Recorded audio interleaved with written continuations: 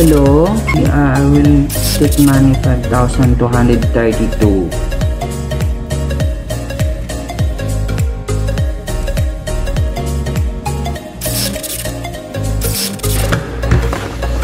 I will give you money.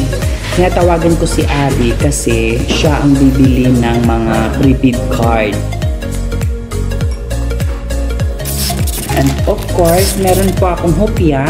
Binili ko to kagabi, hindi ko po naubos. Hmm, I love it. This is my favorite. That's Mr. Michael. Sir, thank you for the sanitizer. Welcome. Hi friend, this is Ali. This is your money and this is the money for you that I take it before. Okay sir? Thank you. Thank you very much. Thank you.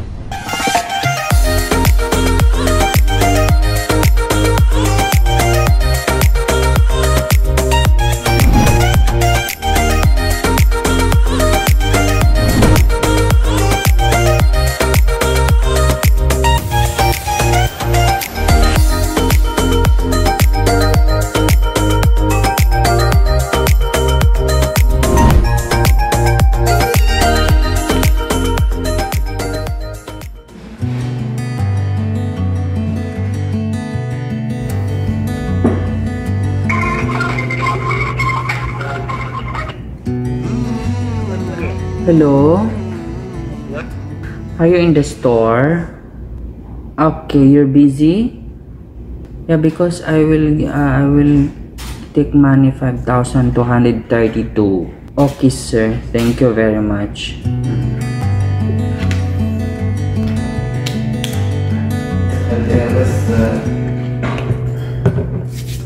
Bababa ako, pupunta ako ng CCO office kasi kukuha ako ng pera kasi yung memo na ginawa ko ay na-approve na po ng aming district finance manager.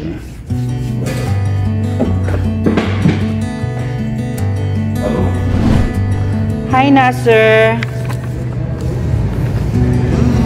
I am with Mr. Nasser, CCO manager.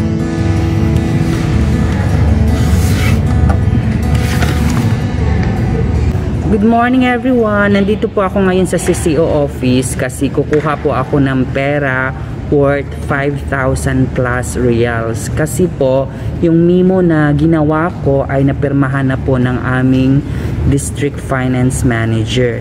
And of course, yung pera na yon ay gagamitin ko pangbili ng allowance sa pangtawag para sa mga manager. Tinatawag siyang mobile prepaid cards allowance. So inaantay ko lang siya kasi ibibigay niya sa akin ang pera.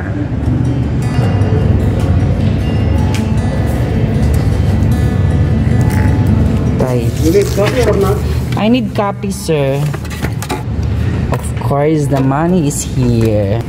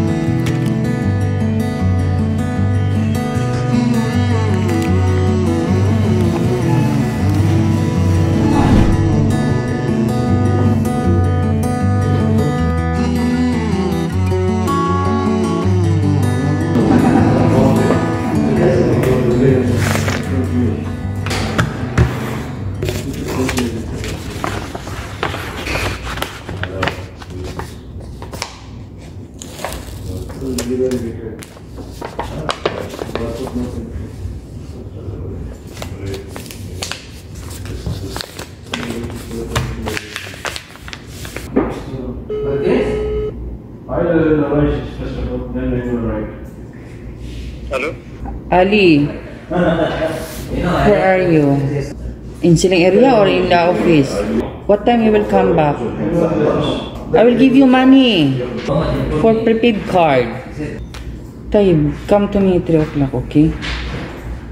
Tinatawagan ko si Ali kasi siya ang bibili ng mga prepaid cards para sa mga managers, supervisors, and section in charge. So itong perang to ay ibibigay ko kay Ali pero wala po siya dito sa store. Mamayang 3 o'clock PM pa po siya darating. So aantayin ko siya hanggang 3 PM tapos ibibigay ko tong pera sa kanya.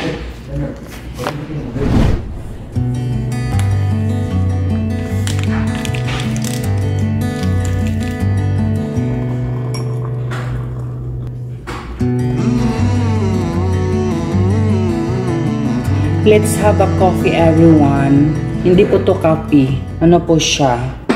Ginger with tea. Ito po yung aking favorite. Masarap po to inumin. Kasi medyo may pagkaanghang. Tapos mas maganda siya sa lalamunan. And of course, meron po akong hopya. Binili ko to kagabi. Hindi ko po naubos. So dinala ko dito para meron akong pang breakfast.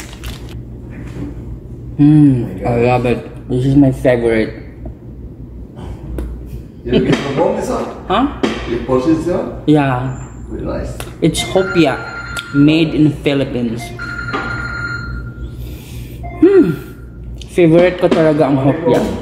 Kahit anong mangyayari, hopia talaga ang favorite ko. Comes me chamba.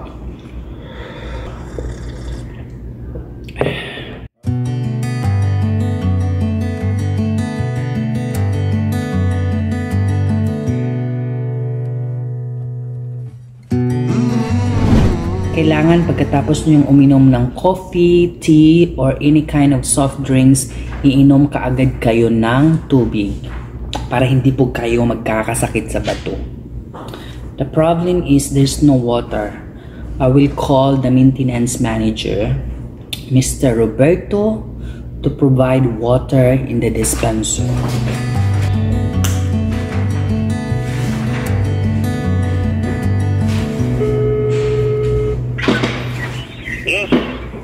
Hello?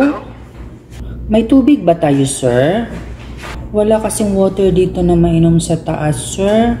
Thank you very much. Okay, bye, sir. Ayan, tinawagan ko na si Mr. Roberto. At magbibigay po siya ng tubig para naman may mainom kami dito sa office. Time check is 11.55 so marami talagang tao dito sa office. That's Mr. Michael, Mr. Ramsan, Ramsan, yes, and Mr. Rawad, Rawad, yes, and Mr. Sally. Oh my God, th- this is Mr. Sally. Yes. Yes. Yes. Exactly. exactly. sanitizer. Binigyan po ako ni Mr. Roberto kasi wala na po akong sanitizer. Sir, thank you for the sanitizer. Welcome. This is Mr. Roberto, the maintenance manager. Thank you. Welcome. That's Mr. Roberto. He is a Filipino and he is a very, very good man. Hi everybody, Ali Alzarani is here. I will give him the money. Hi friend, this is Ali. This is your money? Yes? Sir, because you are my friend. And this is the money for you that I take it before. Okay sir? Thank you very much Ali. Yes, that's Ali Alzarani. He is the one who will buy the prepaid cards for the manager. Thank you. Thank you very much.